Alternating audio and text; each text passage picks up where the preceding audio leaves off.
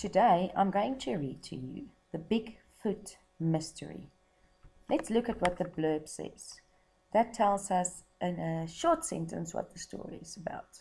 So it says The magic key takes the children to a forest. What mystery animal do they meet?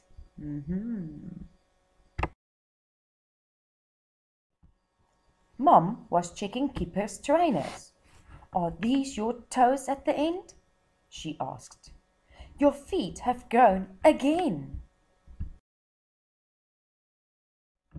You need a new pair of trainers, said Mom. Go and tell Biff and Chip that we're going to the shops. As soon as Kipper peeked into Biff's room, the magic key started to glow. It was time for an adventure. The magic key took them to a forest with lots of tall trees. Biff saw a footprint in the mud. Look at this, she said. It's enormous. She put her own foot next to the footprint to compare. What made it? asked Kipper. A bear? Bears have paws with sharp claws, said. This footprint has toe marks. Some people believe a mystery animal called Bigfoot lives in the woods, said Chip. Perhaps Bigfoot made the footprint, Chip added. Here is another mystery, said Kipper. Why is this rope here? Biff and Chip went to check. Suddenly, a big wooden cage dropped down over the three children. Oh no! shouted Chip. It's a trap! The children tried to lift up the cage, but it was much too heavy. Help! shouted Kipper. Is anybody there? Yes, said Biff. Look over there. A huge, hairy creature was watching them. It looked interested.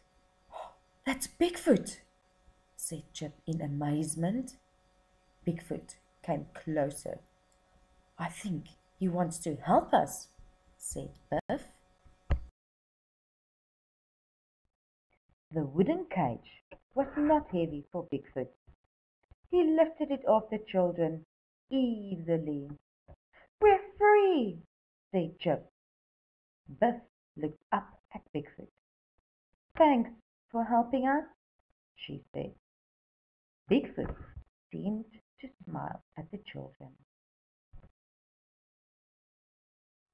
Suddenly, they heard gruff voices. The trap is this way, said a man. Bigfoot looked around. Now he seemed frightened. He ran into the woods and hid. A moment later, three men appeared. What are you children doing here? One of them asked. We're lost, said Chip quickly. My name is Mr. Buncombe, said the man. We set that trap to catch a mystery animal called Bigfoot. Bigfoot stayed hidden and watched. What will you do if you catch him? Biff asked Buncombe. Buncombe smiled. I'm going to take him all around the world in my traveling circus. People will pay lots of money to see him. He is the only Bigfoot in the world. Buncombe gave the children a hard stare. Have you seen Bigfoot near here? he asked. The children did not think Buncombe's plan sounded very nice for Bigfoot. Biff, Chip, and Kipper looked at each other. They shook their heads. Chip quietly rubbed his foot over the footprint so the man would not see it. Maybe I'll go and look for the Loch Ness monster instead, Buncombe said crossly. The magic key began to glow. What's that? A magic key? shouted Buncombe. People will pay lots to see that. The children started disappearing. Come back! Buncombe shouted angrily. He did not know that Bigfoot was behind him, waving goodbye to the children. At home, Mom was waiting to take the shopping for new trainers. Go on then, Bigfoot, joked Biff to her little brother. Oh wow, I think I would have been scared if I met this Bigfoot. Did you know that another name for Bigfoot is a Sasquatch? I would like you to read the words in the green boxes and then to also clap them. I'm, time, your, made, came, year, saw, very, footprint, traveling. Oh, people, looked, Mr., called, asked, anybody, enormous, goodbye, loch. Now for a few questions. Why didn't Biff think it could be a bear's footprint? Think specifically what they said in the story. Why did Chip rub his foot over the footprint?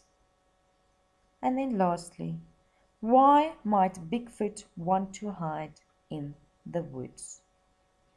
I would like you to now go and draw your own picture of what you think Bigfoot would look like? Or do you think there's any other mystery animals out there? Go write a sentence about it and also give your creature a name. Go through the story. Look carefully at the pictures. Look at the expression on the children's faces and think what are they feeling and thinking? Look at the other animals you can see in the forest. I would also like you to go and read the story for yourself at least once or twice.